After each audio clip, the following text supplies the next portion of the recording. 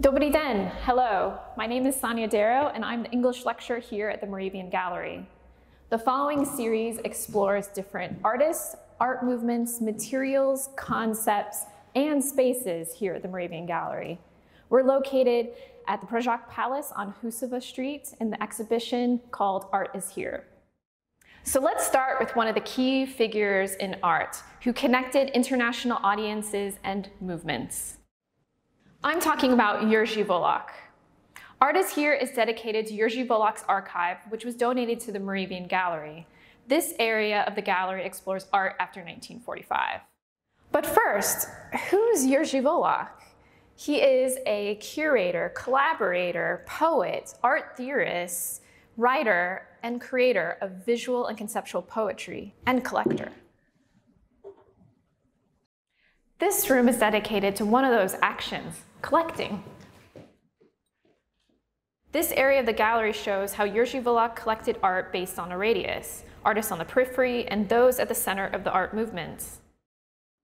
Marian Palla, Vladimir Boudník, Radek Kratina, Milan Knížák, Vendula Chalánková. That is all for now. See you next time.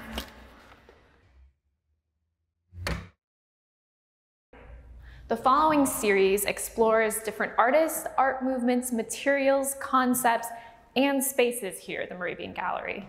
I want to show you one of my favorite pieces in Jiří Valoch's archive, which is here in the exhibition Art is Here at Pražák Palace on Husova Street.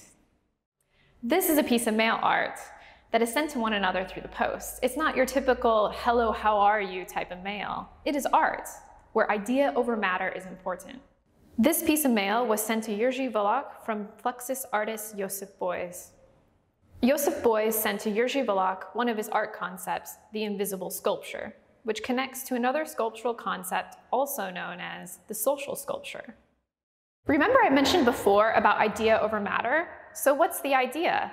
Joseph Beuys' concept takes a traditional art form, sculpture, as a method to engage with social practice or society, meaning the various actions form the sculpture. Artist's work who engages with society is directly connected to the concept that Joseph Beuys sent to Jiří Valoch. What's an example of a social sculpture? Slovak artist Roman Ondák's work to create lines or cues in spaces is an example of a social sculpture. Showing how the actions of people create form. This connects to our everyday movements, habits, blurring the lines between what is art but also what is sculpture, which is not entirely different from a traditional sculpture.